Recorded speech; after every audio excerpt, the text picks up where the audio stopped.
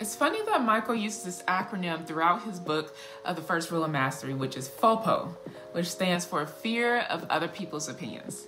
I'm familiar with FOMO acronym, and I truly feel like FOPO is a lot stronger than FOMO. But Michael explains in chapter 10 that it's normal, that because we're human, we innately have a need to belong. No one wants to feel rejected. So he goes to share what the antidote to FOPO is, and I absolutely love what he said.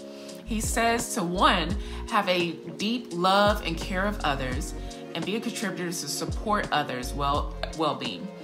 And two, to act in alignment with your goals, your purpose, and your values. When you're focused on loving others and being your full self and walking in your purpose, you won't even have the energy to focus on what others may or may not be thinking of you. But if you're not living authentically to yourself, if you're not trying to be part of a community to help and support others, that's when it's going to fall apart and FOPO will always win. I love this perspective so much because I truly believe that so much security comes when you get to this stage. So reflect, even now, where are you with that? Do you even know what your values are?